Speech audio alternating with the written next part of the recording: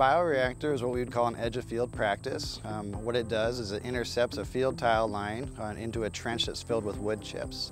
Um, the wood chips there provide a carbon source, a medium for denitrifying bacteria to naturally remove that nitrogen. Typically we can see anywhere from you know 50 plus percent removal of nitrate as it passes through a bioreactor.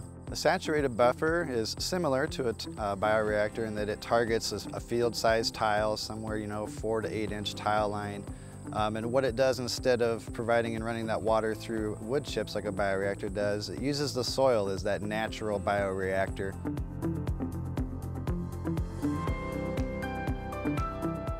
Tile work is probably one of the most common things done in an operation. Make sure you have good functioning tile. And as you have the opportunity while you're in there working on that, if you know about this practice, it makes it easier to incorporate it at the time you're having other work done, rather than coming back in later and trying to retrofit it. This is an important practice to the state of Iowa because it gives us another option. Um, it provides another tool and resource to help us meet those needs.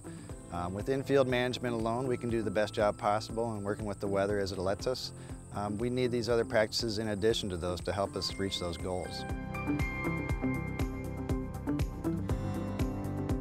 Contact your local USDA service center, talk with FSA staff or Natural Resources Conservation Service staff.